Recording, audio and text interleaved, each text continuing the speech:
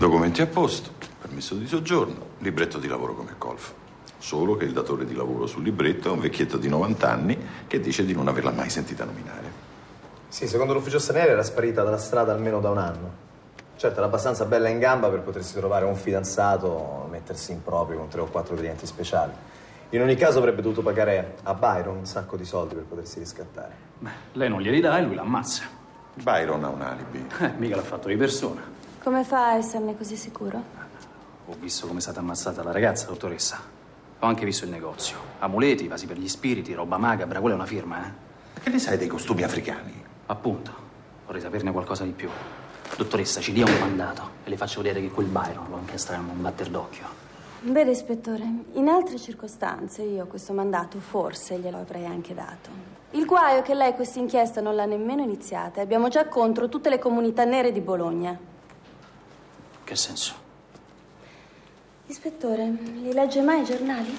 Sì, qualche volta. Guardi, guardi, c'è anche una sua foto.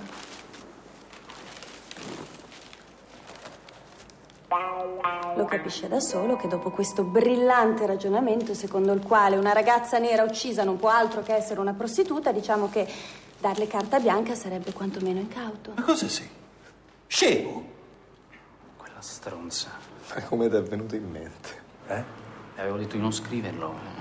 Ecco, vedi, ispettore, io speravo che lei fosse arrabbiato perché le sue parole erano state travisate.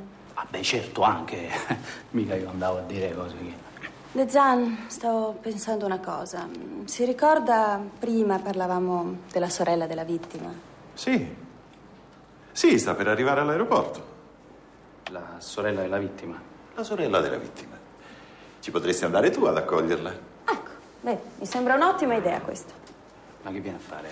Ma come che viene a fare? Si viene a prendere la salma della sorella, no? Adesso, ma le pratiche dell'autopsia saranno pronte soltanto la prossima settimana. E infatti è arrivata con un anticipo imprevisto.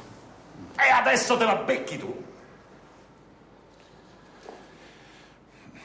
Cioè, volevo dire, allora sarà compito tuo aiutarla a non perdersi nei meandri della burocrazia. Eh? Olia, mi fido di te. Tranquillo, commissario, tranquillo.